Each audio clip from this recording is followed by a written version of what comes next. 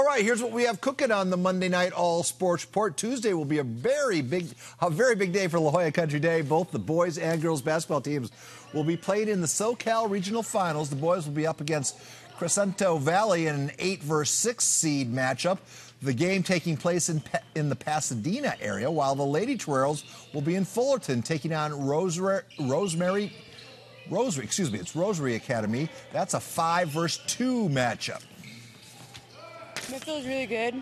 It feels great, actually. Um, Coach Bamford has prepared us well for this, and um, I'm excited to see what's next. We always support each other, and like, super cool that we're one of the few teams that are still have both of us in, and I know it's really exciting for us. This is the furthest we've gotten in state. We've been in state every years since I've been in high school, and this is the first we've gone. I think the adversity we faced in the beginning of the season due to injuries, not having a whole team, but now having our whole team uh, just made us stronger, and we're really close. I consider this my second family.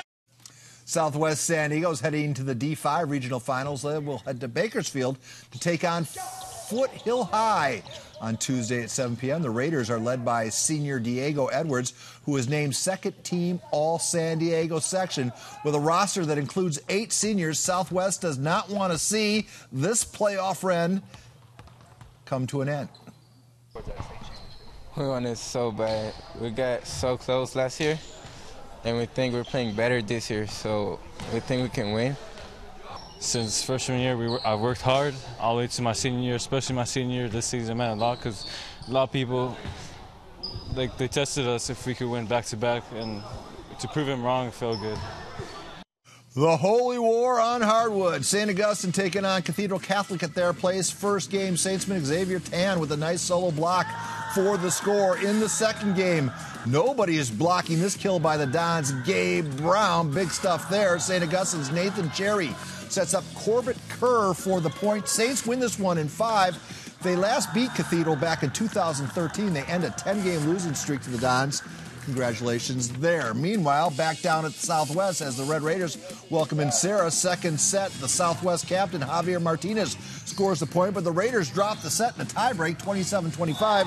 Then it's Serra's Garrett Roll-offs with the kill. Sarah wins in three straight. And we finish up on the pitch. El Camino heading down to the five take on Torrey Pines. And hey, look, there's our digital correspondent who's also an assistant coach at Torrey Pines, Casey McKinnon. Mia Khan finds the net three times.